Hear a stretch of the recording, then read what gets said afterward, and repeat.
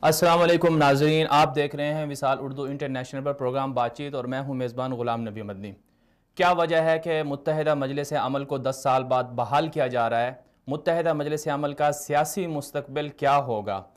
متحدہ مجلس عمل میں صرف چھ دینی جماعتیں ہی کیوں شامل کی گئی ہیں؟ متحدہ مجلس میں مجلس عمل میں شامل چھ دینی جماعتیں سیاست کے نام پر متحد ہو گئیں، لیکن حالیہ دینوں ختم نبوت کے حوالے سے جو ایک مضموم سازش کی گئی، اس حوالے سے متحدہ مجلس عمل کی طرح کا کوئی پلیٹ فارم کیوں نہیں بنایا گیا اور کیوں ان جماعتوں کی طرف سے ختم نبوت کے مسئلے پر احتجاج نہیں کیا گیا؟ کیا وجہ ہے کہ ختم نبوت کی ذمہ داری صرف تحریک لبیک یا رسول اللہ والوں پر عائد ہوتی ہے یا پورے پاکستان پورے پاکستان پر بھی ختم نبوت کی ذمہ داری عائد ہوتی ہے۔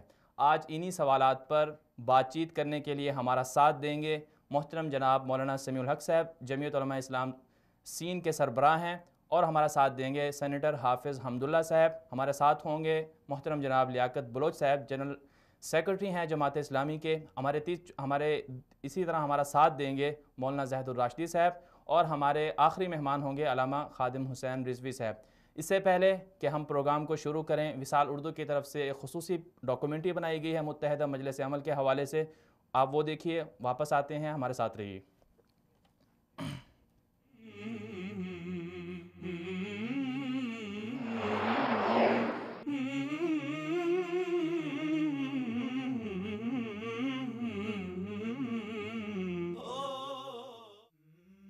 متحدہ مجلس عمل مختلف مذہبی سیاسی جماعتوں کا مشترکہ ایک سیاسی اتحاد تھا، جس کا قیام دو ہزار دو میں اس وقت وجود میں آیا، جب ڈکٹیٹر پرویز مشرف کی روشن خیالی کے نام پر اسلام دشمنی اور امریکہ نوازی کے چرچے زبان زد عام تھے۔ اس اتحاد میں جمعیت علماء اسلام فے گروپ، تحریک جعفریہ پاکستان، جمعیت علماء اسلام سین گروپ، جمعیت اہل حدیث، جماعت اسلامی پاکستان اور جمعیت علماء پاکستان نورانی شامل تھے۔ چنانچہ دو ہزار دو میں پرویز مشرف کے خلاف بھرپور انداز میں ایم ایم اے کے پلیٹ فارم سے الیکشن لڑا گیا اور یوں ایم ایم اے قومی اسمبلی کی تین سو بیالیس نشستوں میں سے تریسٹھ نشستیں حاصل کر کے پارلیمنٹ کی تیسری بڑی جماعت ثابت ہوئی۔ سو قومی اسمبلی کی عام نشستوں میں سے خیبر پختونخوا میں اٹھائیس، سندھ میں پانچ، پنجاب میں تین اور بلوچستان میں چھ، جبکہ سینٹ کی سو میں سے چھ نشستیں بھی ایم ایم اے نے حاصل کی دو ہزار دو کے انتخابات میں پہلی مرتبہ ملکی سیاست میں دینی سیاسی جماعتوں کی حیرت انگیز کامیابی کے بعد قومی اسمبلی میں ایم ایم اے نے اپنا اپوزیشن لیڈر، جبکہ خیبر پختونخوا اور بلوچستان میں صوبائی حکومتیں بھی بنائیں۔ لیکن مذہبی سیاسی جماعتوں کی محبتیں دیر پا ثابت نہ ہو سکی چنانچہ دو ہزار پانچ میں کراچی کے بلدیاتی انتخابات کی وجہ سے ایم ایم اے میں شامل دو بڑی جماعتوں کے درمیان قربتیں رقابتوں میں بدلنا شروع ہو گئی نتیجاتاً یہ رقابتیں دو ہزار آٹھ میں ایم ایم اے کے اتحاد کا شیرازہ بکھرنے کی صورت میں اپنی منطقی انجام کو پہنچ گئی اتحاد کے ٹوٹنے کے بعد ایم ایم اے میں شامل جماعت اسلامی نے دو ہزار آٹھ کے الیکشن کا بائی کاٹ کیا، جبکہ جمعیت علماء اسلام فے نے قومی اسمبلی میں اکثریت حاصل کرنے والی پیپلز پارٹی کے ساتھ اتحاد کر لیا۔ بعد ازاں دو ہزار بارہ کے الیکشن سے پہلے بھی ایم ایم اے کی بحالی کے لیے مہم شروع کی گئی، لیکن یہ مہم بھی ناکام رہی۔ اور جمعیت علماء اسلام فے کے علاوہ کوئی بھی مذہبی سیاسی جماعت الیکشن میں قابل قدر کامیابی حاصل نہ کر پائی۔ واضح رہے کہ اس وقت جہاں تمام سیاسی جماعتوں کی طرف سے دو ہزار اٹھارہ کے انتخابات کی تیاریاں شروع کی جا رہی ہیں، تو وہاں پھر سے ایک مرتبہ ایم ایم اے کی بحالی کے لیے مذہبی سیاسی جماعتیں سرگرم ہو گئی ہیں۔ چنانچہ اکتوبر دو ہزار سترہ میں اسلام آباد میں جمعیت علماء اسلام فے نے ایم ایم اے میں شامل مذہبی جماعتوں کے سربراہان کا اجلاس بلایا، جس میں ایم ایم اے کی بحالی کے لیے چھ رکنی اسٹیئرنگ کمیٹی بنائی گئی اور ایم ایم اے کی بحالی کے لیے دوسرا اجلاس نو نومبر کو جماعت اسلامی کے مرکزی ہیڈ کوارٹر منصورہ لاہور میں ہوا، جس میں چھ مذہبی جماعتیں جماعت اسلامی، جمعیت علماء اسلام فے، جمعیت علماء پاکستان، مرکزی جمعیت اہل حدیث، جمعیت علماء اسلام سین اور اسلامی تحریک شامل ہوئی اس اجلاس میں ایم ایم اے کو اصولی طور پر بحال کرنے اور مستقبل میں ایم ایم اے کی ذمہ داریوں کے حوالے سے مشاورت کی گئی، جبکہ دسمبر میں ایم ایم اے کی بحالی کے لیے باقاعدہ اعلان کرنے پر اتفاق کیا گیا ہے۔ واضح رہے کہ ایم ایم اے کی بحالی کے لیے دس سال بعد مذہبی سیاسی سیاسی جماعتوں کی طرف سے چلائی جانے والی مہم کے بعد ملکی سیاست میں نئی ہلچل مچ گئی ہے۔ ایک طرف تو ایم ایم اے کی بحالی کو خوش آئند قرار دیا جا رہا ہے، تو دوسری طرف اسے مفادات اور اقتدار کی سیاست سے تشبیح دی جا رہی ہے۔ یہی وجہ ہے کہ عوامی حلقوں کی طرف سے یہ اعتراض بھی اٹھایا جا رہا ہے کہ ایم ایم اے میں صرف چھ دینی سیاسی جماعتیں ہی کیوں شامل ہیں۔ دیگر دینی سیاسی جماعتیں جیسے اہل سنت والجماعت، تحریک لبیک یا رسول اللہ، ملی مسلم لیگ وغیرہ کو اس میں شامل کیوں نہیں کیا جا رہا؟ بعض اسلام پسندوں کا یہ بھی کہنا ہے کہ ایم ایم اے اپنے پہلے دور میں پرویز مشرف کے دین مخالف آمرانہ فیصلوں کے خلاف خاطر خواہ کام نہ کر سکی اور لال مسجد جیسے بڑے ملکی سانحے کو رکوانے میں بھی ناکام رہی ہے۔ لہٰذا اب بھی ان سے توقع نہیں رکھی جا سکتی، بلکہ یہ فقط اقتدار اور مفادات کے لیے سیاسی جوڑ توڑ کیا جا رہا ہے۔ اب یہ وقت ہی بتائے گا کہ کیا ایم ایم اے پاکستان کی تمام دینی جماعتوں کا مشترکہ پلیٹ فارم بن پائے گا یا نہیں؟ کیا ایم ایم اے پاکستان کے اسلامی تشخص کی حفاظت کرنے میں اپنا کردار ادا کر سکے گی یا نہیں؟ کیا ایم ایم اے کرپٹ سیاستدانوں کے خلاف اقتدار اور مفادات سے بالاتر ہو کر کام کر پائے گی یا نہیں۔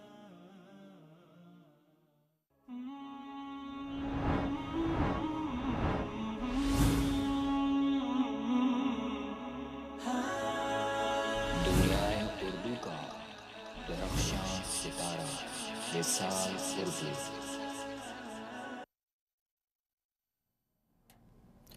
ویلکم بیک ناظرین آپ دیکھ رہے ہیں پروگرام بات چیت. آج ہم بات کر رہے ہیں متحدہ مجلس عمل کی بحالی پر کہ متحدہ مجلس عمل کو ماضی میں کیوں بنایا گیا اور اب دس سال بعد متحدہ مجلس عمل کو کیوں بحال کیا جا رہا ہے؟ کیا وجہ ہے؟ یہ ایک اہم سوال ہے کہ متحدہ مجلس عمل میں صرف چھ دینی جماعتوں کو کیوں شامل کیا گیا ہے؟ کیا پاکستان میں دیگر دینی جماعتیں نہیں ہیں جو سیاسی، جو سیاست کے لیے، سیاست کے لیے اپنا، سیاست میں میدان میں، سیاست کے میدان میں بھی ہیں۔ اور اسی طرح ایک اہم سوال یہ بھی ہے کہ جو موجودہ متحدہ مجلس عمل میں شامل چھ دینی جماعتیں ہیں، انہوں نے سیاست کے لیے تو ایک میدان کا انتخاب کر لیا اور اس کے لیے جوڑ توڑ کر رہی ہیں، لیکن ختم نبوت کے حوالے سے جو سازش ہوئی، اس کے خلاف ان چھ دینی جماعتوں نے یا متحدہ مجلس عمل میں شامل جماعتوں نے کیوں احتجاج نہیں کیا؟ کیا یہ ہمارا فرض نہیں بنتا؟ کہ ہم اس سازش کے پیچھے چھپے اصل چہروں کو سامنے لائیں۔ کیا محض یہ کہہ دینا، پہلے کتنی افسوس کی بات ہے کہ پوری قوم کو دھوکہ دیا گیا، کہا گیا کہ کہ ختم جو الیکشن ایکٹ ہے، نیا ترمیمی بل ہے، اس میں کوئی ختم نبوت کے حوالے سے کوئی ترمیم نہیں ہوئی۔ لیکن پھر بعد میں جب میڈیا کی طرف سے، ماہرین قانون کی طرف سے جب آوازیں اٹھی تو اقرار کر لیا گیا اور مان لیا گیا کہ بالکل غلطی ہوئی۔ بالکل ترمیم میں ختم نبوت کے حلف نامے کے اندر کچھ نہ کچھ گڑبڑ ہوئی، لیکن وہ بائی مسٹیک ہوا، غلطی کے ساتھ ایسا ہوا۔ لیکن پھر یہ بھی سامنے آیا، سب کچھ قوم نے دیکھا پچھلے ڈیڑھ مہینے سے جو سلسلہ چلا ہوا ہے کہ الیکشن ایکٹ کو یا جو نیا ترمیمی بل ہے، اس کو واپس لے لیا گیا ہے، حلف نامے کو ویسے کا ویسے جوں کا توں بحال کر دیا گیا۔ لیکن لیکن ابھی بھی ابھی بھی جو بہت سے ایسے جو ماہرین ہیں، ان کے مطابق بہت سی چیزیں ایسی ہیں جن کو تدریجاً بحال کیا گیا فوراً سب کو نہیں بحال کیا گیا۔ اور سب سے بڑا جو اہم جو سوال ہے، جو اہم مسئلہ ہے، جس پر پوری قوم پوری قوم سوال کر رہی ہے، پوری قوم باہر نکلی ہوئی ہے، وہ یہ ہے کہ یہ ختم نبوت کا، کے حوالے سے جو حلف نامہ تھا، اس میں سازش کے تحت جو تبدیلی ہوئی، اس کے پیچھے اصل لوگ کون تھے؟ اب جو میڈیا کے ذریعے جو خبریں سامنے آ رہی ہیں، ان میں یہ بھی کہا جا رہا ہے کہ جو وزیر قانون ہیں، ان کا یہ کہنا ہے کہ دراصل اس کے پیچھے میں نہیں تھا، بلکہ کوئی اور چہرہ تھا۔ اگر مجھے ہٹایا گیا تو میں اس چہرے کو سامنے لے آؤں گا۔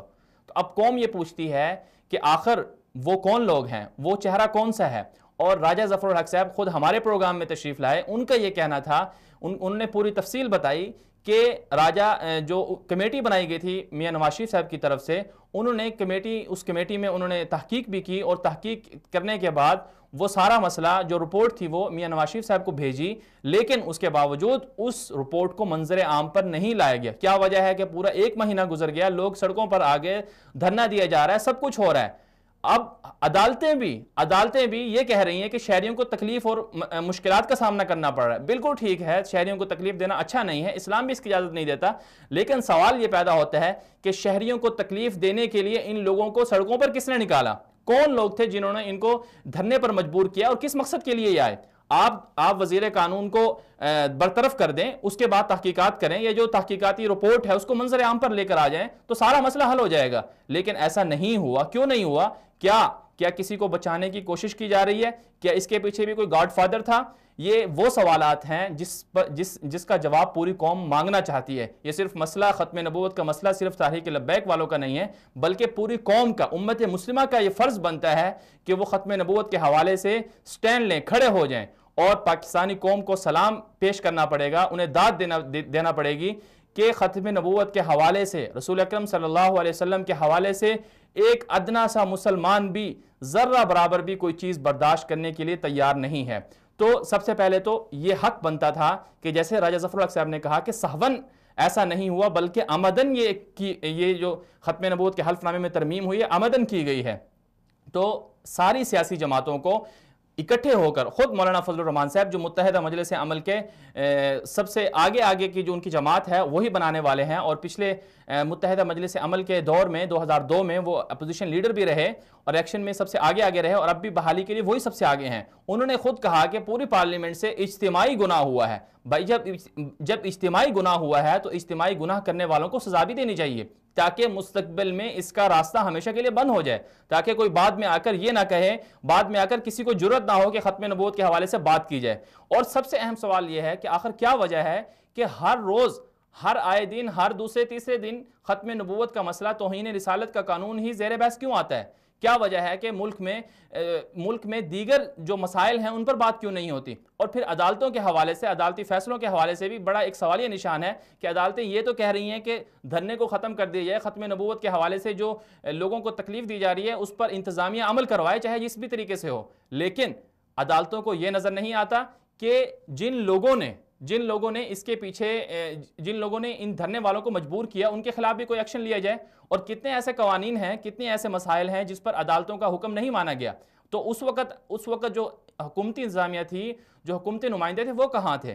تو سب سے پہلے جو اصل متحدہ مجلس عمل ہے، جو ابھی بحال ہونے جا رہی ہے، اب سوال یہ ہے، ساری بات یہیں گھوم کر آتی ہے کہ متحدہ مجلس عمل میں شامل یہ دینی جماعتیں، یہ جو موجودہ دینی جماعتیں ہیں انہوں نے ختم نبوت کے مسئلے کے حوالے سے آواز کیوں نہیں اٹھائی؟ متحدہ مجلس عمل کو بحال کرنے کے لیے، مستقبل میں دو ہزار اٹھارہ کے الیکشن میں تیاری کے لیے سیاسی جوڑ توڑ ہو رہا ہے، لیکن ختم نبوت کے حوالے سے لوگ میدان میں کیوں نہیں آئے؟ یہ بہت بڑا اہم سوال ہے، پوری قوم ان دینی سیاسی جماعتوں سے پوچھنا چاہتی ہے۔ اور عجیب بات یہ ہے کہ جتنی بھی دینی سیاسی جماعتیں ہیں، پارلیمنٹ میں بہت مضبوط ہیں، سیاست میں بہت مضبوط ہیں، آگے تک ان کے ہاتھ ہیں، سب کچھ سب چیزیں جانتی ہیں، لیکن اس کے باوجود انہوں نے انہوں نے اس حوالے سے کوئی کام نہیں کیا۔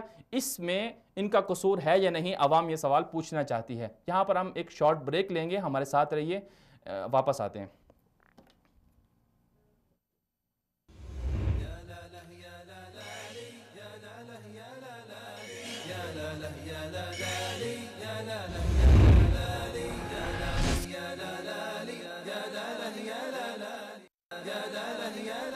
ویلکم بیک ناظرین آج ہم بات کر رہے ہیں متحدہ مجلس عمل کی بحالی اور اس کے اغراض و مقاصد اور ماضی میں کس لیے بنائی گئی اور اب کیوں بنائی جا رہی ہے اور اس کے ساتھ ہم بات کر رہے ہیں ختم نبوت کے مسئلے کے حوالے سے اور حالیہ دنوں جو دھرنے جو اس وقت دھرنا جاری ہے اسلام آباد میں اور اس حوالے سے جو حکومتی مذاکراتی ٹیم ہے وہ بھی وہاں پر موجود ہے ان سے بھی مذاکرات ہوئے اور جو دھرنے والے ہیں ان کا بھی مطالبات ہیں۔ وہ مطالبات بالکل اپنی جگہ بجا ہیں۔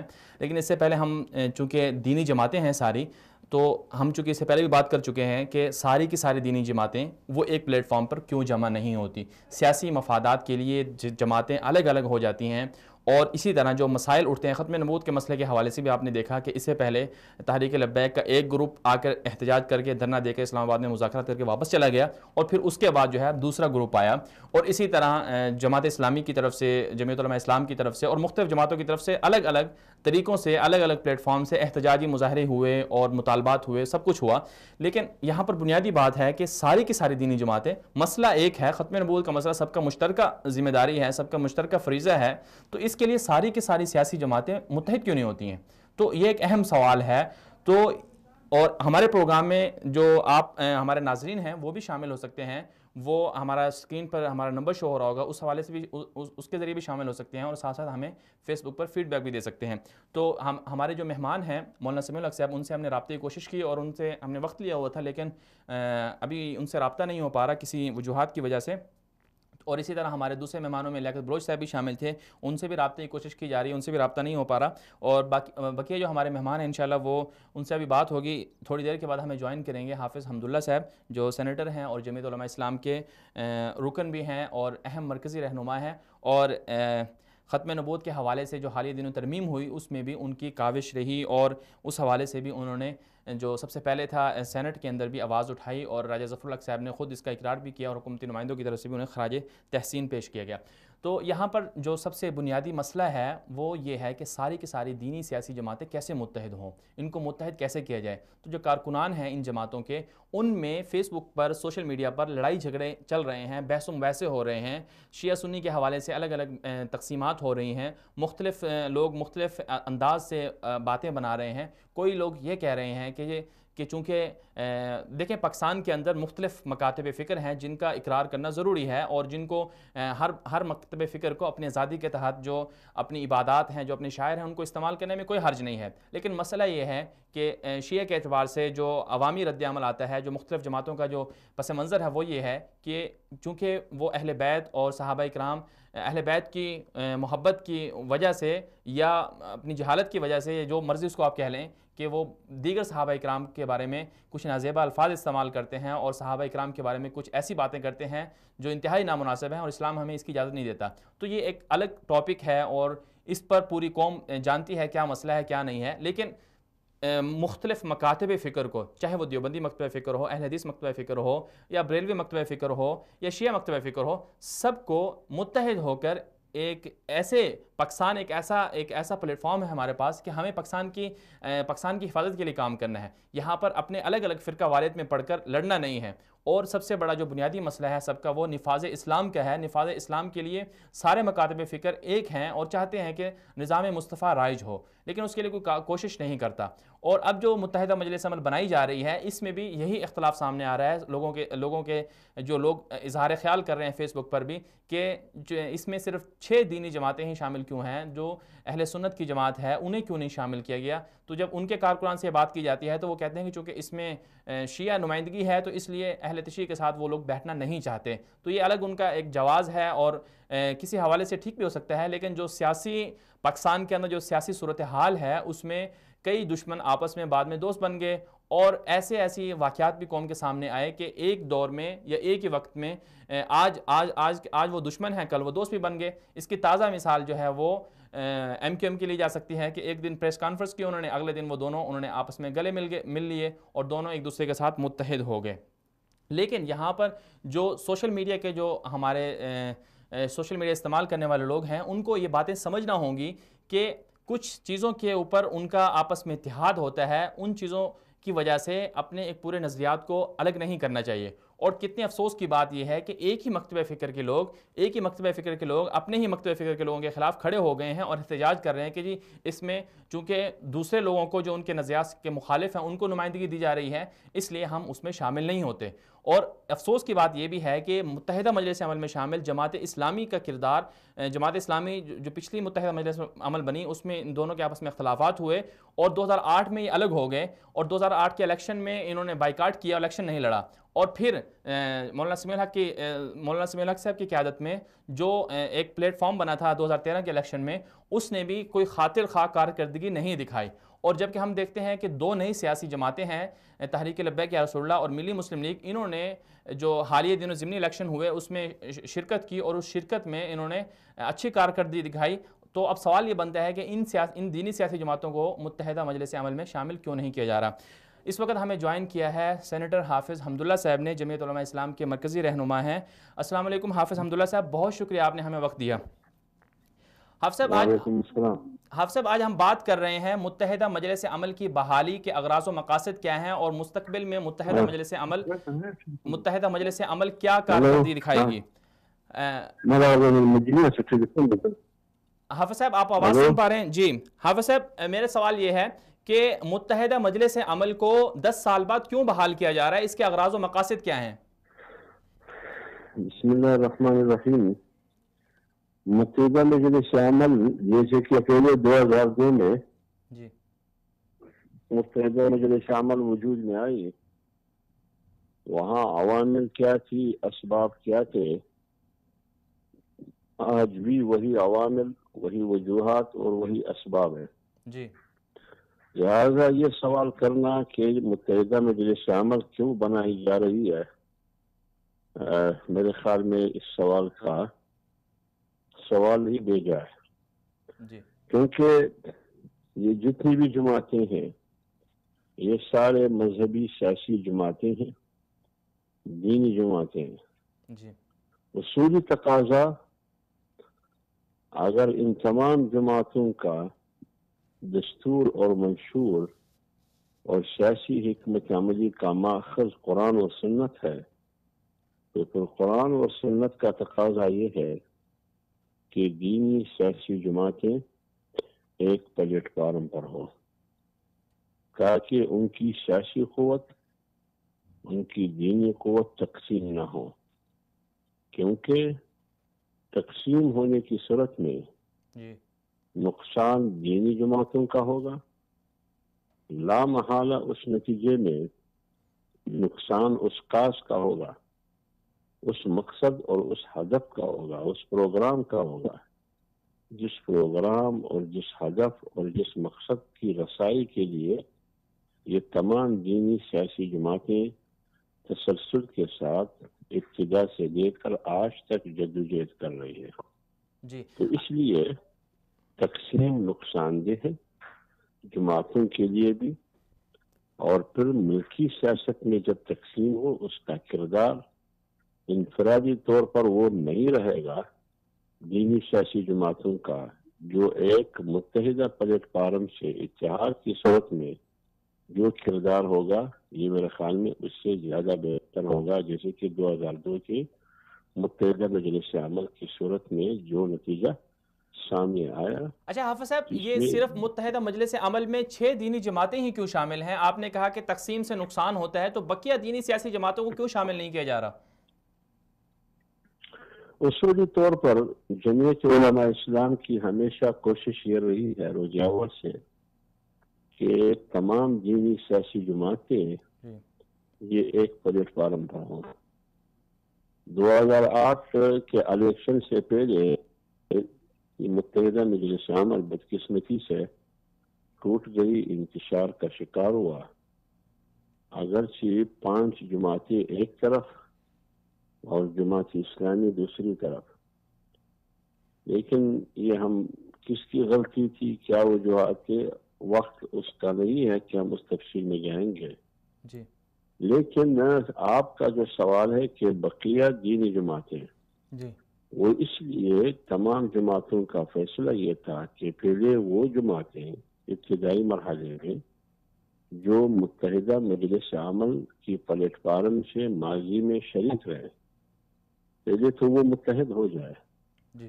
ایک پلیٹ فارم پر بیٹھ کے اصولی فیصلہ کرے کہ ہم نے متحدہ مجلس عمل بنانا ہے۔ پھر اس کے بعد اگر ہم نے دیگر دینی سیاسی جماعتوں، مذہبی جماعتوں کی خواہش اگر ان کی تھی کہ ہم اس اتحاد میں شریک ہونا چاہتے ہیں یا اس اتحاد میں اتحاد کے بعد یہ ضروری سمجھا کہ بقایا جو دینی جماعتیں ہیں، اس کو بھی اس اتحاد میں شامل ہونا چاہیے۔ تو اس کے لیے پھر یا تو انہی پلیٹ فارم سے اسی پلیٹ فارم سے ان جماعتوں سے رابطہ کرنا ضروری ہے، یا دینی جماعتوں کی خواہش تھی تو وہ رابطہ کریں گے۔ تو وہ اگلا مرحلہ تھا۔ پہلے ابتدائی مرحلے میں فیصلہ یہ تھا کہ یہ جو متحدہ مجلس عمل میں شریک جماعتیں ہیں، پہلے یہ فیصلہ کریں کہ ہم نے متحدہ مجلس عمل کو بحال کرنا ہے اور فعال کرنا ہے، اس کے بعد دوسرا مرحلہ ہوگا۔ جی حافظ صاحب، آپ نے ابھی جو اجلاسات ہوئے ہیں متحدہ مجلس عمل کے دو اجلاس جو بڑے ہوئے ہیں، تو ان میں یہ اصولی فیصلہ تو ہو گیا ہوگا کہ متحدہ مجلس عمل میں جو سابقہ جماعتیں تھیں، وہ اب متفق ہو گئی ہیں کہ متحدہ مجلس عمل کو بحال کیا جائے۔ تو پھر کس طرح تحریک لبیک یا رسول اللہ والے ہیں یا اسی طرح ملی مسلم لیگ والے ہیں، یہ دیگر سیاسی جماعتیں اہل سنت والجماعت ہے ان سب کو آپ پھر کیسے متحدہ مجلس عمل میں دعوت دیں گے؟ نہیں، بات یہ ہے کہ میں یہ نام نہیں دیتا ہوں کہ دینی جماعتیں کس نام کا ہو جی۔ وہ اپنی جگہ پر میں نے آپ کو کہا کہ پہلے تو متحدہ مجلس عمل میں شریک جماعتیں مختلف وجوہات کی بنیاد پر اس اتحاد کو جو ماضی میں تھا بحال اور فعال کرنے میں وہ وہ تیار نہیں تھے۔ جی۔ تو جب بمشکل کافی سالوں کے بعد یہ اصولی فیصلہ ہوا کہ ہم نے متحدہ مجلس عمل کو بحال کرنا ہے۔ جی۔ یہ تو یہ ہو۔ اب رسمی اعلان تو ابھی تک نہیں ہوا ہے۔ یہ جی۔ تو اندر میں اصولی فیصلہ یہی ہوا ہے۔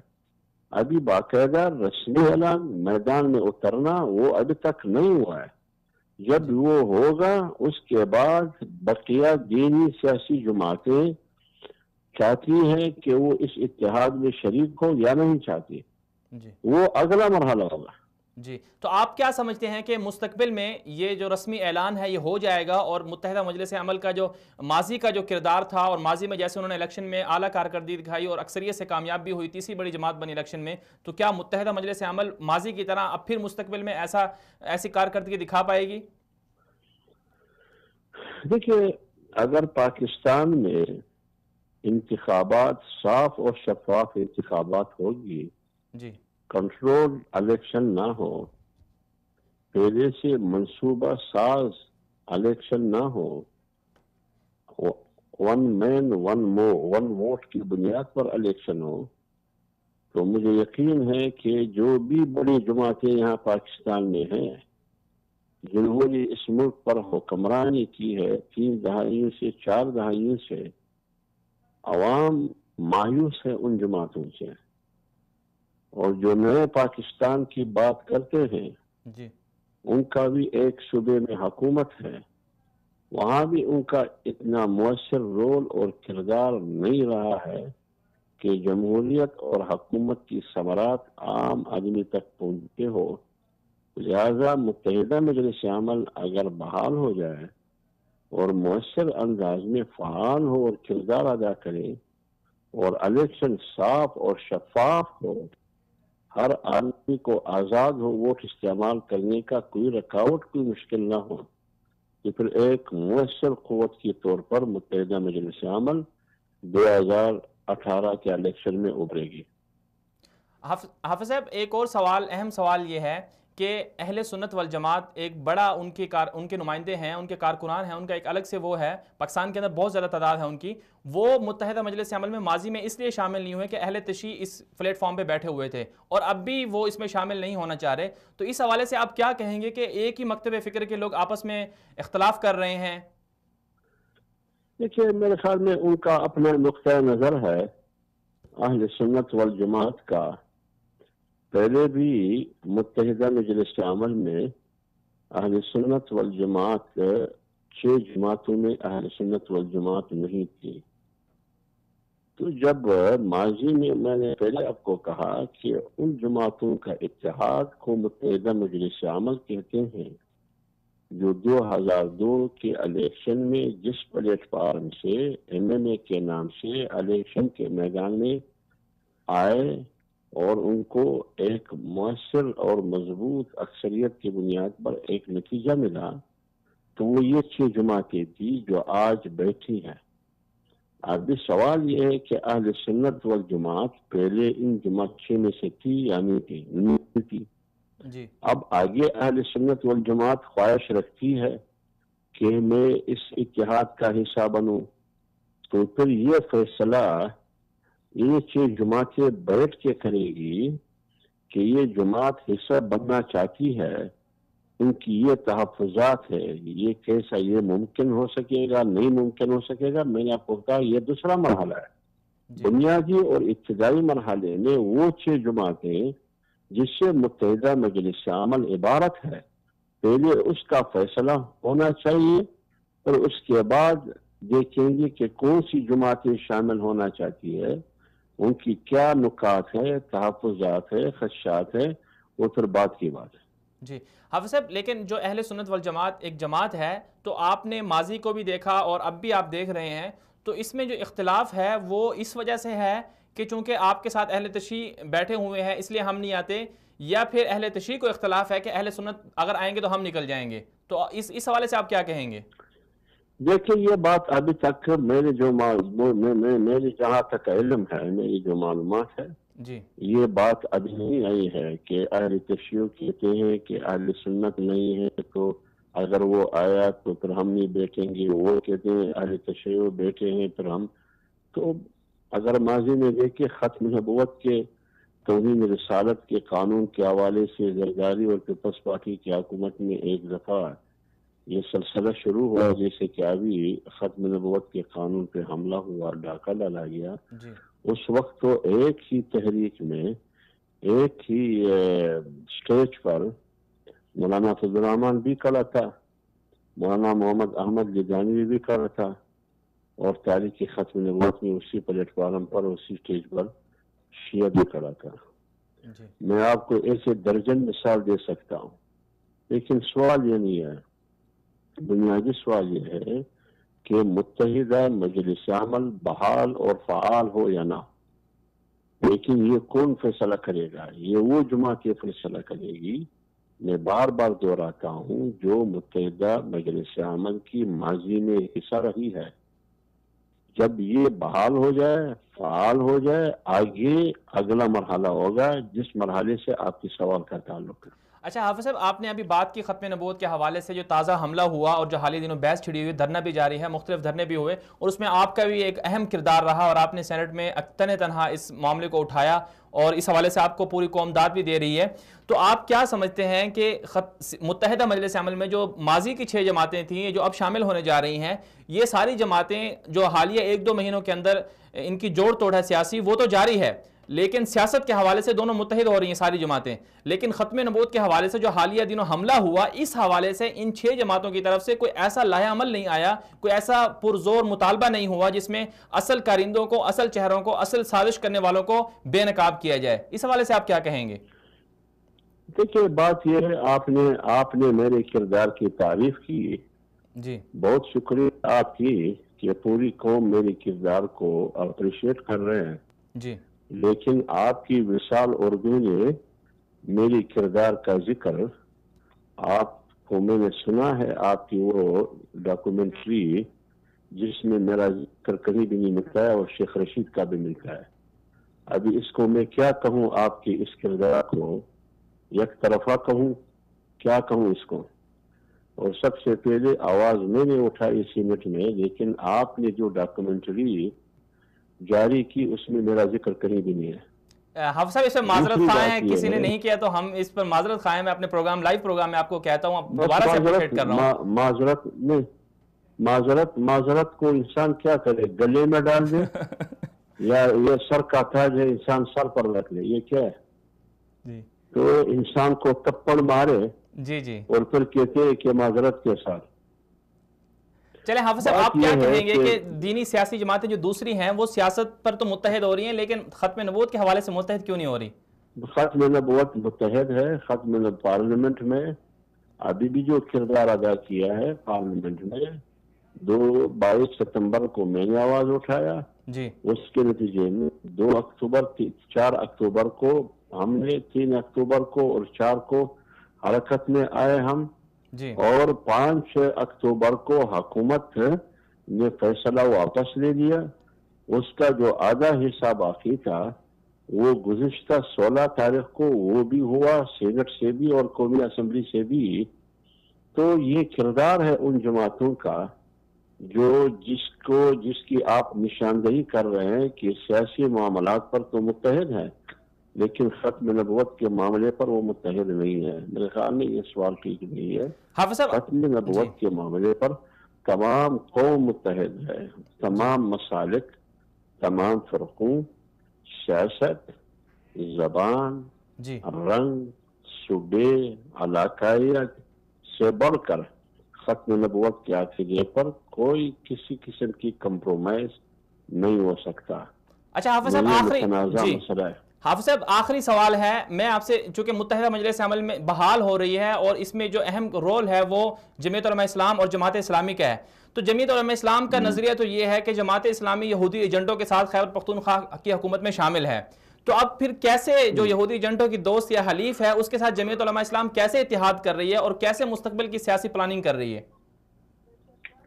دیکھیں یہ جو باتیں ہیں فرض کرے اس قسم کے تحفظات یا خدشات جمعیت علماء اسلام کی ہو، اسی قسم کی نوعیت کی خدشات جماعت اسلامی کی بھی ہو، ہمارے حوالے سے کہ آپ نواز شریف کے ساتھ اتحادی ہے اور نواز شریف پاناما لکس کے نتیجے میں نااہل ہو چکا ہے، ایک کرپٹ آدمی ہے، ہم پر یہ اعتراض ہے۔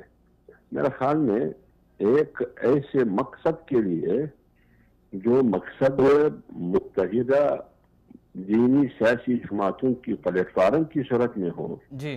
اور جس میں دو ہزار اٹھارہ کے الیکشن وہاں ہدف اور مقصد ہو اور اسلامی تہذیب اور اسلامی دفات آئین میں اور مغربی تہذیب کا مقابلہ اور سیکولر اور بیدین قوتوں کا راستہ روکنا جو وہ اکثریت کی بلبوتے پہ انتہا پسندی مسلط کرنا جی۔ چاہتے ہیں اپنے مائنڈ سیٹ اور ذہنیت کو قوم پر اکیس کروڑ عوام پر پارلیمنٹ کے اندر اکثریت کے نام پر یہ اہم مقاصد ہے جی ان اہم مقاصد کو سامنے رکھ کر یہ جو چھوٹی موٹی خدشات ہیں ہمارے بارے میں ان کے یا ہمارے ان کے بارے میں اس جی، کا ازالہ ممکن ہے۔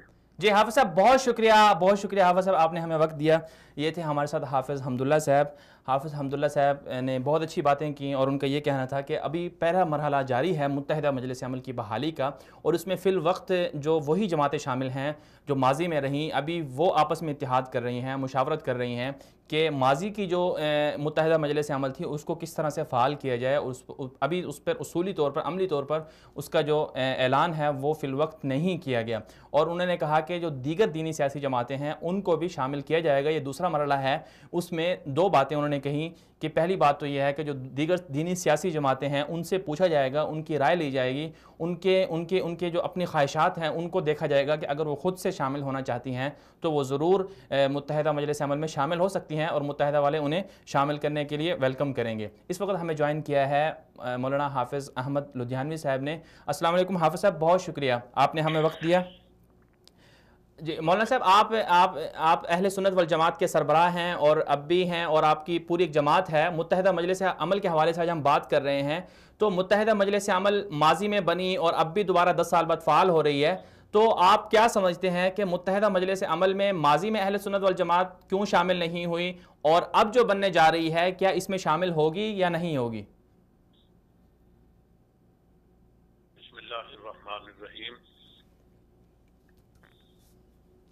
آپ نے سوال ایسا کر دیا ہے جی۔ ایک متحدہ مجلس عمل بنی اور ختم ہو گئی۔ بالکل۔ اس وقت بھی آپ نے سوال نہیں کیا جب بنی۔ جب ختم ہو گئی پھر بھی آپ نے سوال نہیں کیا۔ درمیان میں پانچ سال گزر گئے۔ نہ انہوں نے کبھی سوال کیا نہ آپ کو ضرورت محسوس ہوئی۔ جی۔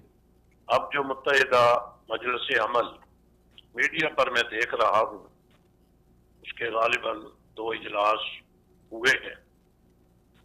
دونوں اجلاسوں میں بڑی جماعت، جمعیت علماء اسلام ہے اور ان کے ساتھ ہی جمعیت علماء اسلام سین مولانا سمیع الحق کی تیسرے نمبر پر جماعت اسلامی، چوتھے نمبر پر مولانا اویس نورانی اور غالباً پروفیسر ساجد میر ہیں جی۔ اور ساجد نقوی۔ یہ ان میں دو جو بڑی جماعتیں ہیں جنہیں سیاسی جماعت کہا جا سکتا ہے جمعیت علماء اسلام تھے اور تحریک انصاف۔ ان دونوں جماعتوں کو دیکھیں جمعیت علماء اسلام کا گزشتہ چار سال بلکہ پانچ سالہ دور جو ہے یہ مسلم لیگ کے اتحادی ہیں۔ اور تحریک انصاف کے چیئرمین عمران خان صاحب وہ خیبر پختونخوا میں پی ٹی آئی کے سراج الحق صاحب پی ٹی آئی کے اتحادی ہیں۔ بالکل۔ اب آپ یہ دیکھیں ایک گورنمنٹ پارٹی کا اتحادی ہے ایک اپوزیشن پارٹی کا اتحادی ہے۔ ایک گورنمنٹ کو گرانے پہ لگا ہوا ہے دوسرا گورنمنٹ کو بچانے پہ لگا ہوا ہے۔ جی۔ ابھی تک ان دونوں کا دونوں نے دونوں حکومتوں والی پارٹیوں کو چھوڑا نہیں ہے۔ یہ دونوں آپس میں کیسے متحد ہو سکتے؟ جی۔ یہ میرا سوال ہے۔ جی بالکل صحیح کہہ رہے ہیں آپ صاحب۔ دونوں اجلاسوں میں مولانا سمیع الحق صاحب کی نمائندگی ہوئی اسلام آباد کے اجلاس میں مولانا خود تھے۔ اور لاہور والے اجلاس میں ان کی نمائندگی تھی۔ لاہور والے اجلاس کے ہونے کے بعد حضرت مولانا فضل الرحمان صاحب اگلے دن وزیر اعلیٰ پنجاب میاں شہباز شریف صاحب کے پاس تھے اور قائد جمعیت مولانا سمیع الحق صاحب کے پاس خیبر پختونخوا کے وزیر اعلیٰ ان کے پاس موجود تھے۔ اس سے اندازہ لگائیں ایم ایم اے کا اجلاس ہو گیا اگلا ہی دن آیا۔ جی۔ ایک قائد گورنمنٹ پارٹی کے پاس دوسرے قائد کے پاس اس جماعت کا وزیر اعلیٰ جو وفاقی حکومت کے خاتمے کے لیے ہر ممکن کوشش کر رہا ہے۔ جی۔ تو میں سمجھتا ہوں ابھی تک پہلے تو متحدہ مجلس عمل بحال بحال پتہ نہیں یہ بحال لفظ ٹھیک ہے یا نہیں ہے۔ مجھے یہ سمجھ چونکہ درمیان میں پانچ سال کا عرصہ ایسا گزرا مجلس عمل نہیں تھی۔ جی۔ مولانا سمیع الحق اس کے قریب نہیں تھے جماعت اسلامی اس کے قریب نہیں تھی ایک دوسرے کے اوپر الزامات کی اعتراضات کی بچار ہوتی رہی۔ یہ سلسلہ چلا۔ جی۔ ابھی اور اس کے علاوہ جو جماعتیں ہیں سیاسی عنوان پر میں تو انہیں ٹانگے کی سواریوں والی جماعتیں سمجھتا ہوں۔ جی حافظ صاحب لیکن مولانا صاحب آپ آپ کو ماضی میں شامل نہیں کیا گیا۔ بالکل آپ کے کچھ خدشات ہوں گے تحفظات ہوں گے۔ لیکن اب آپ کیا سمجھتے ہیں کہ اگر بحال ہو بھی جاتی ہے متحدہ مجلس عمل تو کیا آپ کی جماعت اس میں شامل ہوگی؟ میرے خیال میں پہلے بھی انہوں نے ہمیں دعوت نہیں دی تھی اس دفعہ بھی دعوت نہیں دی۔ ابھی بھی حافظ صاحب کہہ رہے ہیں وہی پرانی چھ جماعتوں کو پہلے ہم متحد کر رہے ہیں۔ وہ جب ہو جائے گی تو اگلا سوال آپ کریں گے پھر جواب میں دوں گا جب یہ متحد ہو جائیں گے۔ جی۔ مستقبل آپ کیا دیکھتے ہیں کہ اگر مستقبل میں بن بھی جائے تو مستقبل میں کیا یہ ماضی کی طرح اپنا رول پلے کر سکیں گے یا نہیں کر سکیں گے؟ مجھے پہلے بھی کوئی رول تو ادا نہیں کر سکے تھے ابھی کیا ادا کرنا ہے؟ جی۔ مولانا صاحب کیا جی۔ ہوا ہوتا دو ہزار آٹھ سے تیرہ تک تو تیرہ کے الیکشن میں تو انہیں بہت بھرپور انداز میں آگے آنا چاہیے تھا۔ جی۔ تو مستقبل میں آپ کی جماعت کی طرف سے کیا پلاننگ ہے؟ تو کس کے ساتھ شامل ہونا چاہیں گے؟ دوبارہ سے سیڑھی کے نشان پر لڑیں گے؟ اس وقت پاکستان میں بڑا اہمیت والا عنوان جو ہے وہ ختم نبوت والا ہے۔ جی۔ اگرچہ پارلیمنٹ کا اور سینٹ کا فیصلہ آ چکا ہے عدالت کا فیصلہ بھی آ چکا ہے۔ یہ خوشی ہے اور میں اس کو جناب رسول اللہ صلی اللہ علیہ وسلم۔ کا زندہ معجزہ سمجھتا ہوں بالکل۔ کہ ان کے معجزے کی وجہ سے ابھی نہ کوئی بڑی تحریک چلی نہ سڑکوں پہ آئے نہ قربانی ہوئی گورنمنٹ نے گھٹنے ٹیک دیے۔ لیکن میں یہ کہنا چاہوں گا کہ جس انداز میں سابقہ دور میں کسی وقت بھی ناموس رسالت کا عنوان یا ختم نبوت کا عنوان جب کبھی بھی زیر بحث آیا، کسی نے اسلام کے اوپر نقب لگانے کی کوشش کی، تو ملک کی تمام مذہبی دینی جماعتیں اکٹھی ہوا کرتی تھیں، اے پی سی ہوا کرتی تھی اور بڑا جوش و خروش ہوا کرتا تھا۔ میں تو افسوس ہی کر سکتا ہوں کہ اس دفعہ نقب لگانے والوں نے بڑی ضرورت کے ساتھ لگائی اور اس کے اوپر جیسے ہمیں متحد کر کے آنا چاہیے تھا افسوس ہے کہ ایسا نہیں ہو سکتا۔ اچھا آخری سوال مولانا صاحب آپ سے، کہ آپ کے جماعت کے حوالے سے مختلف باتیں آ رہی ہیں کہ جماعت کے جو عہدے ہیں وہ سارے تحلیل ہو گئے ہیں اور آپ بھی کنوینئر بن گئے ہیں۔ اس حوالے سے کیا کہیں گے کہ جماعت اہل سنت کے اندر کوئی اختلافات ہیں آپس میں یا کیا کیا صورتحال ہے؟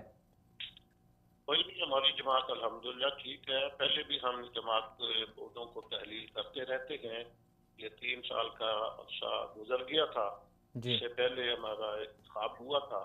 ابھی وہ عرصہ پورا ہوا تو میں نے جماعت کے تمام ذمہ داروں کو اعتماد میں لے کر کے تحلیل کر دی جائیں باڈی اور انشاءاللہ آنے والے دنوں میں پہلے میں اپنی مرکز کی معاون بناؤں گا پھر صوبوں کے بناؤں گا پھر انشاءاللہ اسی انداز میں آگے اپنا نظام چلاتے رہیں گے اور جی۔ انشاءاللہ یہ چلتا ہی رہے گا۔ جی مولانا صاحب آپ سے افسوس کرنا ہے کہ آپ کے بھائی کا انتقال ہوا اس پر اللہ تعالیٰ انہیں ان کی کامل مغفرت فرمائے اور ان کے درجات کو بلند فرمائے۔ وصال اردو کی طرف سے ہم آپ سے تعزیت کر رہے ہیں کہ اللہ تعالیٰ ان کو اپنے جوار رحمت میں جگہ عطا فرمائے۔ بہت شکریہ مولانا صاحب آپ نے ہمیں وقت دیا۔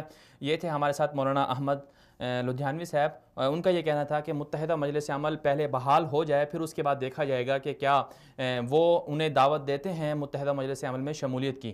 یہاں پر ایک بہت بڑا سوال یہ ہے کہ اہل سنت والجماعت بہت بڑی جماعت ہے پاکستان کی اور پوری پاکستان کے اندر ان کے نمائندے ہیں اور کارکنان ہیں اور لوگ ان سے محبت کرتے ہیں کہ اہل صحابہ اکرام کی حرمت کے لیے اور ان کی حفاظت کے لیے اہل سنت والجماعت کا کام ہے اور کردار ہے، بہت بڑا کارنامہ ہے ان کا اور اس کے لیے انہوں نے قربانیاں بھی دیں۔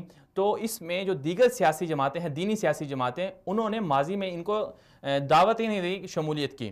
اور ابھی بھی ابھی بھی جو ابھی حالیہ اجلاس ہو رہے ہیں، تو ان میں حافظ حمداللہ صاحب نے اگرچہ یہ کہہ دیا کہ چونکہ پچھلی جماعتیں پہلے متحد ہو جائیں، پھر دوسرے مرحلے میں ہم دیکھیں گے۔ تو اب سوال یہ بنتا ہے کہ متحدہ مجلس عمل، اس کا حق بنتا ہے کہ جیسے یہ ماضی کی جماعتوں کو متحد کر رہی ہے، اسی طرح جو دیگر دینی سیاسی جماعتیں ہیں، ان کو بھی شمولیت کی دعوت دیں۔ اس وقت ہمیں جوائن کیا ہے مولانا زہد الراشدی صاحب نے معروف مذہبی اسکالر ہیں۔ بہت شکریہ مولانا صاحب، آپ نے ہمیں وقت دیا۔ مولانا صاحب، ہمارے پاس وقت کی کمی ہے۔ میں آپ سے براہ راست ٹاپک پر آؤں گا کہ متحدہ مجلس عمل ماضی میں بھی بنی اور اب بھی بن رہی ہے۔ ماضی کی جو متحدہ مجلس عمل تھی، اس میں اس نے کسی حوالے سے دینی شخص کو برقرار رکھنے کے لیے ان کی طرف سے کہا جاتا ہے کہ انہوں نے بہت بڑے کام کیے۔ لیکن بہت سی چیزیں ایسی تھیں جو انہوں نے نہیں کی ان میں سے ایک لال مسجد کا واقعہ بھی ہوا کہ اس حوالے سے اس جماعت کی طرف سے کوئی بڑا کارنامہ سامنے نہیں آیا۔ تو آپ کیا سمجھتے ہیں کہ ماضی کی متحدہ مجلس عمل یا جو اب بننے جا رہی ہے، یہ دونوں کا مقارنہ کر کے، ان کے آپس میں تقابل کر کے مستقبل ان کا کیا ہوگا؟ کہ دینی سیاسی جماعتیں اسلام کی حفاظت کے لیے نظریہ پاکستان کی حفاظت کے لیے کچھ کام کر پائیں گی یا نہیں کر پائیں گی؟ بسم اللہ الرحمن الرحیم۔ گزارش یہ ہے کہ سیاسی بسم اللہ الرحمن الرحیم۔ جی۔ گزارش یہ ہے کہ دینی جماعتیں یا سیاسی جماعتیں جب متحد ہوتی ہیں نا تو حالات کے تقاضوں کے تحت ہوتی ہے بالکل۔ متحدہ مجلس عمل جب اس زمانے میں بنی تھی اس وقت کے حالات کی ضروریات کو سامنے رکھ کر بنی تھی اور ان حالات میں جو کردار وہ ادا کی تھی اس نے کیا تھا۔ اب جو متحدہ مجلس دوبارہ بنے گی یہاں کے آج کے حالات کے مطابق آج کے حالات کے بنے گی۔ اور جو آج کے حالات ہوں گے انشاءاللہ میرا اندازہ ہے کہ وہ صحیح فیس کرے گی۔ ہر زمانے میں ہمارا پاکستان میں ہمیشہ سے یہ تجربہ رہا ہے کہ کسی دینی یا سیاسی مقصد کے لیے جب دینی جماعتیں اکٹھی ہوئی ہیں تو کبھی انہیں ناکامی نہیں ہوئی۔ ہمیشہ پیش رفت کی ہے انہوں نے یہ اتحاد تو ہماری قومی ضرورت بھی ہے دینی ضرورت بھی ہے۔ اور اتحاد کسی امتیاز کے بغیر جی۔ اتحاد میں جب ہم یہ امتیازات رکھیں گے تو اتحاد نہیں ہوگا۔ اتحاد کسی امتیاز کے بغیر پاکستان قومی اتحاد کی طرف کا یا تحریک تحفظ ختم الوت کی طرف کا؟ جب ہم متحد ہوں گے تو قومی اور دینی مقاصد کو حاصل کر پائیں گے۔ اس وقت جو متحدہ مجلس دوبارہ متحد ہونے جا رہی ہے یہ اچھی بات ہے۔ جی۔ اچھا شگون ہے۔ یہ ہے کہ جو خلا پچھلے تجربات میں محسوس ہوئے ہیں ان خلا کو پر کرنے کی کوشش کرنی چاہیے۔ یہ میں جی۔ بھی عرض کروں گا کہ تجربات تو ہوتے ہیں پچھلے دور میں جو تجربات ہوئے ان میں جہاں جہاں دیکھا کہ خلال محسوس ہوا ہے کمزوری محسوس ہوئی ہے اب نئی تشکیل میں اس خلا کو پر کرنے کی کوشش کرنی چاہیے جی۔ اور اس کو زیادہ سے زیادہ مکمل کرنے کی کوشش کرنی چاہیے جی مولا صاحب جی۔ آنے والے حالات میں جی مولا صاحب جی, جی، جو متحدہ مجلس عمل ماضی میں بنی اور اب بھی بن رہی ہے اس میں صرف چند ایک جماعتیں شامل ہیں دیگر دینی سیاسی جماعتیں ہیں وہ اس میں شامل کیوں نہیں ہوتی؟ مثلا تحریک لبیک یا رسول اللہ نے ابھی حالیہ دنوں بڑی کارکردگی دکھائی اور ملی مسلم لیگ والے ہیں کسی ایک ایجنڈے میرے بھائی کسی ایک ایجنڈے پر ساری جماعتوں کا متفق ہونا کبھی بھی ممکن نہیں ہوا۔ جی۔ جتنی ایک ایجنڈا ہے جس جو متفق ہو جائیں ٹھیک ہے۔ جی۔ ایک پر سیاست میں کبھی ساری جماعتیں کبھی متحد نہیں ہو سکتی۔ انتخابی پروگرام پر جتنی زیادہ سے زیادہ جمع ہو جائیں اور جتنا زیادہ مشترکہ ایجنڈا ہو جائے وہ بہتر ہے۔ جی۔ جی مولانا صاحب اچھا آخری سوال آپ سے مولانا صاحب یہ ہے کہ سیاست کے لیے تو اور ایک ایجنڈے، سیاسی ایجنڈے کے لیے تو متحد ہو رہی ہیں، لیکن حالیہ دنوں جو ختم نبوت کے حوالے سے ایک سازش کی گئی، اس حوالے سے یہی متحدہ مجلس عمل والی جماعتیں متحد نہیں ہوئیں اور صرف ایک مکتبہ فکر کے لوگ ہی دھرنا دیے بیٹھے ہیں اور وہ اس مسئلے کو اٹھا رہے ہیں۔ یہ اگر صرف دھرنے سے حل ہوا تو پھر اگر یہ تو بات آپ کی ہے، لیکن یہ دھرنے سے مسئلہ حل نہیں ہوا، یہ پارلیمنٹ کے اندر کردار ادا کرنے سے ہوا ہے اور پارلیمنٹ کے اندر جتنی جماعتیں موجود ہیں، جن پر اسلام ہے یا دوسرے افراد ہے ان کے متحرک ہونے سے اور ان کے منظم ہو کر احتجاج کرنے سے مسئلہ حل ہوا ہے۔ خیال میں اس کردار کو نظر انداز کر دینا ٹھیک بات نہیں ہے۔ جی بہت شکریہ مولانا دھرنا تو ابھی تک جی۔ جاری ہے دھرنے کے مطالبات تو منظور نہیں ہو رہے۔ ویسے میں مطالبات کے حق میں ہوں۔ جی۔ لیکن دھرنے کی وجہ سے یہ نہیں ہوا کہ پارلیمنٹ کے اندر پارلیمنٹ پارٹیوں کے مشترکہ رول کی وجہ سے یہ ہوا ہے کہ جو خرابی ہوئی تھی اس کی اصلاح ہو گئی ہے۔ لیکن مولانا صاحب جو پارلیمنٹ کے اندر جماعتیں ہیں ان کو ایسا چکمہ دیا گیا کہ ان کو پتہ ہی نہیں چلا کہ اتنی بڑی سازش ہو گئی ہے اور بعد میں راجہ ظفر اللہ صاحب خود اقرار کر رہے ہیں اس کا۔ میرے بھائی جب پتہ چلا ہے تو سنبھالا بھی انہوں نہیں ہے۔ جی۔ جب پتہ چلا ہے تو سنبھالا بھی انہوں نہیں ہے۔ چلیں، ٹھیک ہے، مولانا، آپ کا بہت شکریہ، آپ نے ہمیں وقت دیا۔ یہ تھے ہمارے ساتھ مولانا زہد الراشدی صاحب معروف مذہبی اسکالر تھے۔ ان کا یہی کہنا تھا کہ یہ اچھا نیک شگون ہے اور انہوں نے ایک ساتھ جو اہم مسئلہ جو ہم نے اٹھایا اس سے پہلے کہ متحدہ مجلس عمل میں دیگر دینی سیاسی جماعتوں کو کیوں شامل نہیں کیا جا رہا۔ تو اس حوالے سے انہوں نے بہت اچھی بات کی کہ اصل میں ساری کی ساری دینی سیاسی جماعتیں کسی ایک مسئلے پر، کسی ایک ایجنڈے پر متحد ہو جائیں، یہ ناممکن ہے۔ اور پاکستان کی جتنی بھی، بلکہ دنیا کی جہاں کہیں بھی سیاسی جماعتیں ہوتی ہیں، وہ ساری کی ساری متحد نہیں ہو سکتی ہیں۔ اور البتہ جو ایک ایجنڈا ہوتا ہے، اس پر کچھ جماعتیں اتفاق کر لیتی ہیں اور کچھ اس سے اختلاف کرتی ہیں۔ لیکن دینی سیاسی جماعتوں کے لیے، مذہبی سیاسی جماعتوں کے لیے نیک شگون یہ ہے کہ وہ اپنے سارے سیاسی اور مسلکی اختلافات کو بالائے طاق رکھتے ہوئے متحد ہو جائیں۔ کیوں؟ اس کی وجہ یہ ہے کہ پاکستان ایک نظریے کی بنیاد پر بنا، پاکستان اسلام کی حفاظت کے لیے، اسلامی نظام کے نفاذ کے لیے بنا، نظام مصطفیٰ کے نفاذ کے لیے بنایا گیا۔ اور اس نظام مصطفیٰ کے نفاذ کی ذمہ داری ساری پوری قوم پر، پورے پاکستان کے مسلمانوں پر عائد ہوتی ہے۔ اس میں سر فہرست یہی دینی سیاسی جماعتیں ہیں۔ ان کا حق بنتا ہے، ان کا رول، ان کا فرض بنتا ہے کہ یہ اپنا رول ادا کریں۔ اور میدان میں آئیں اور اسی ایجنڈے کے تحت، ایک نظام مصطفیٰ کے ایجنڈے پر متحد ہو جائیں، جیسے کہ ماضی میں متحد ہوئیں۔ تو اس میں تو کسی کو کوئی اختلاف نہیں ہونا چاہیے۔ البتہ نمائندگی کے اختبار سے سیاسی اختلافات ہو سکتے ہیں، تو ان کو بالائے طاق رکھنا چاہیے۔ آج کے لیے اتنا ہی۔ آپ ہمیں فیڈ بیک دیکھ سکتے ہیں۔ بات چیت کے فیس بک پیج کو آپ لائک کر سکتے ہیں یوٹیوب کو آپ یوٹیوب پر وصال اردو کے پیج کو چینل کو جوائن کر سکتے ہیں اور اسی طرح وصال اردو کے آفیشیل پیج فیس بک پر اس کو بھی آپ جوائن کر سکتے ہیں۔ اپنا فیڈ بیک ضرور دیجیے گا اور باقی جو آپ کے مزید جو فیڈ بیک کے حوالے سے مزید جو تحفظات ہوں یا کچھ اچھی رائے ہوں، اس کے بھی ضرور اظہار کیجیے گا۔ آج کے لیے اتنا ہی۔ اجازت دیجیے۔ اللہ حافظ۔